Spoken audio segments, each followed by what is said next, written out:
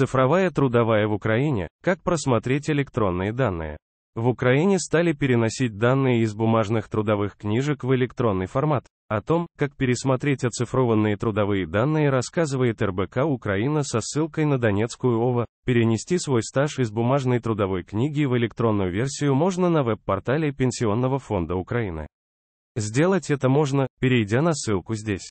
Как проверить электронные данные? Для этого необходимо войти в личный кабинет на веб-портале электронных услуг Пенсионного фонда Украины с помощью квалифицированной электронной подписи, банковской карты или через ДА, подпис. В левом боковом меню выберите пункт «Электронная трудовая книжка», нажмите кнопку «Данные ЭТК», перейдите на вкладку «Оцифрованная ЭТК», После этого следует проверить результат оцифрования сведений о трудовых отношениях в соответствии с предоставленными сканированными копиями документов. Однако заметим, что пересмотреть результат оцифровки и сверить свой страховой стаж с записями в электронной трудовой книжке можно в случае, если лицом или его страхователем представлены на веб-портал e-услуг ПФУ сканированные копии документов о трудовой деятельности за период до 1 января 2004 года. Ранее РБК Украина рассказывала о том, какие нюансы необходимо знать при оцифровке трудовой книжки в Украине.